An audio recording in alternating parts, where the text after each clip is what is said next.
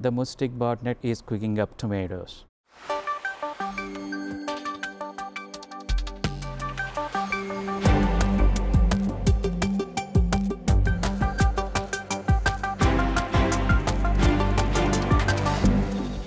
So, uh, Ganesh, I hear you got some news on the Muhstik botnet that's based on tomato firmware. Yes, I do. Um, uh, it's basically Muhstik is another new botnet. It's been around for I think uh, about two years. Uh, they're known to target most of the um, like the flavor of any time this time, like Linux based Yeah. as well as IoT based devices. Uh, when they initially came out, they used to target uh, lots of GPON, maybe DDWRT type of uh, exploits, as well as scanners for different, uh, like a WebLogic, uh, as well as uh, Webuzo, some sort of scanners. They used to use basically they look for the any available vulnerabilities to recruit into the botnet. That's the backstory of that. Okay.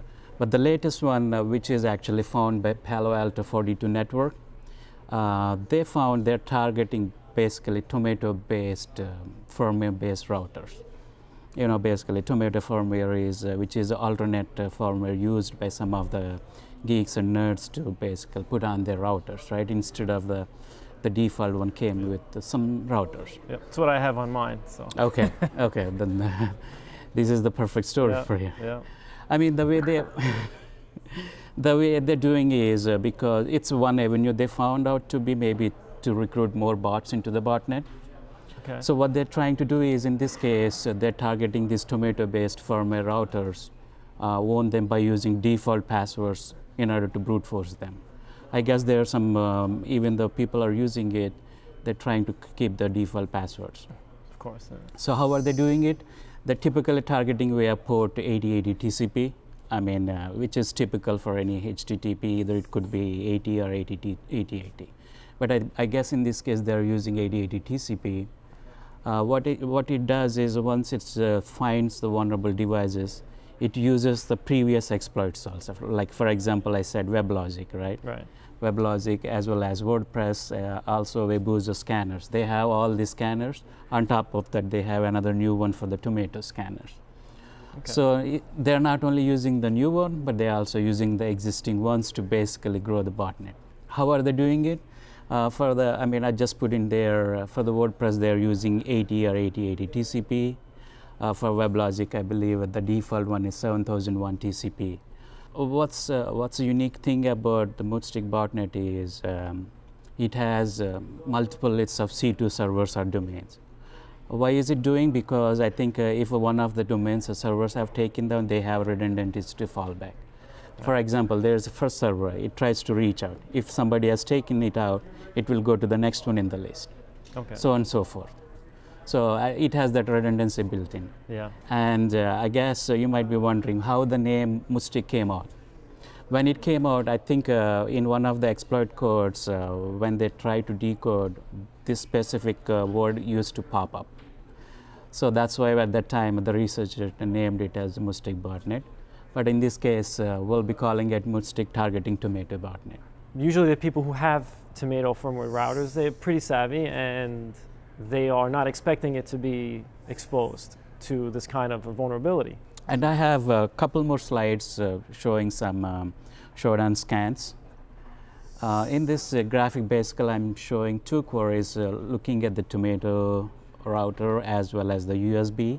If you look at the, the number is not that huge, about 4,500, 4,600 are there on the Shodan queries.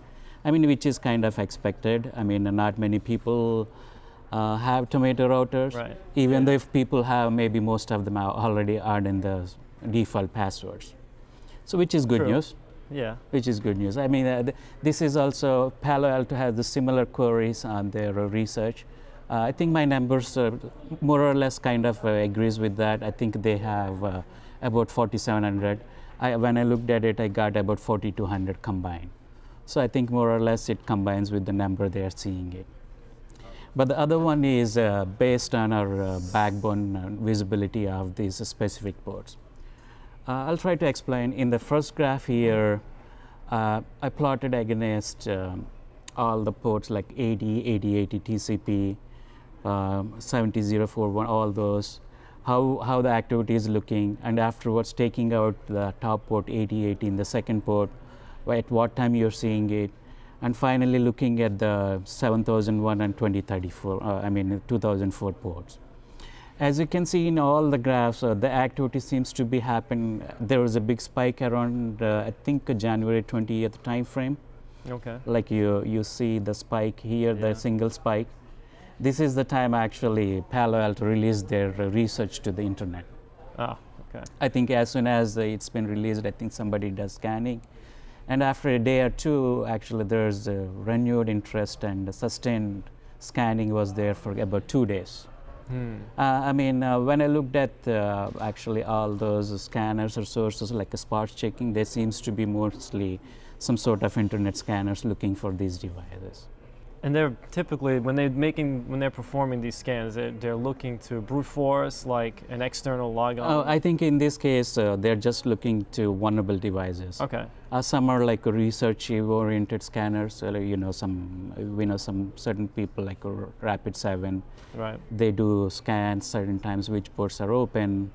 Uh, those kind of certain. I did not see any successful connection. It doesn't Okay. mean That they are not occurred. successful. Right. Maybe they're just looking to get the list. Maybe there may be some payload coming later on the point of the view.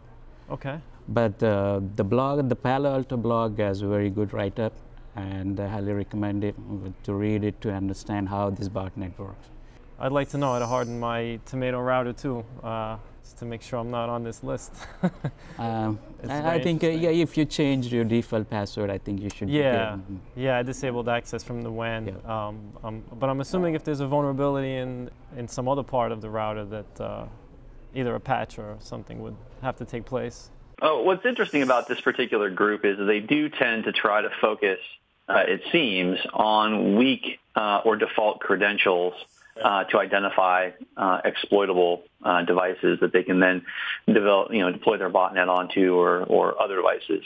Um, a group by the same name um, previously was deploying uh, a ransomware um, focused on QNAP NAS devices and they were looking uh, at compromising devices, basically using that same weak and default credentials as well. And what's interesting is that back in October of 2019, is that one of the victims of that campaign actually hacked back and retrieved all the encryption keys and released a decryptor uh, for that campaign at the time. So when I look at this story, um, there's some really interesting questions that arise about the operational security of this particular threat actor group, and quite frankly, the sophistication uh, of this threat actor group. Right? I mean, it doesn't seem like they are, um, at least from the the stories that I've seen, you know, writing original exploit code. They're really just taking advantage of people who are failing to take those basic actions to protect themselves. You know, resetting default credentials and other just really mundane administrative tasks. Yeah, Yeah. I think uh, that gives some more value for their time, you know, be- because they're using already existing exploits already. And on top of that, they're adding the which are the new one that I mean, there is in this case they use Tomato. First thing you do when you get into your router at home or any device that has a login password, you want to change the default settings. So you don't want it to be admin admin. You want to go in there right away and change the username if you can and the password if you can.